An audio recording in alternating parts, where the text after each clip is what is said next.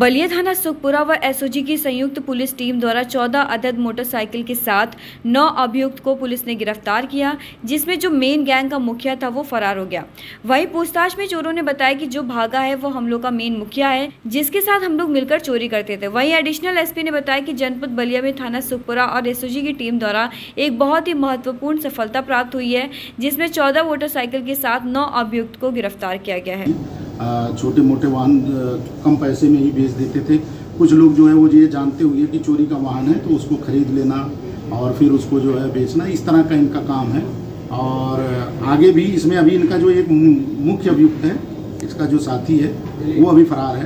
तो उस पर हम लोग कार्रवाई कर रहे हैं। तो उसके मिलने के बाद में हमें कुछ और बाइक्स भी बरामद होंगी और इनका आगे का नेटवर्क भी सर इनकी उम्र क्या है और कौन से शौक पूरा करने के लिए ये काम कर रहे हैं? ये सभी लोग नए युवा लड़के हैं और ये अपना मोबाइल और तमाम खर्च जो आजकल के युवाओं के हैं उस तरह अब इस तरह की चीज़ें आगे अभी आगे भी बातचीत से पता चलेगी धन्यवाद। ये अच्छी कार्रवाई पर एसओजी और पुलिस को कुछ इनाम नहीं ये निश्चित तौर पर एक बहुत ही महत्वपूर्ण सफलता प्राप्त हुई है और इसके लिए मैं एसओजी की टीम और थाना सुखपुरा की टीम को बधाई देता हूँ। साथ में सी सिटी जो इनके पर्यवेक्षण अधिकारी हैं उनके उन्होंने भी बहुत मेहनत किया है। सभी को बधाई देता हूँ और मैं इसमें जो है इनके इनाम के लिए भी संस्तुति धन्यवाद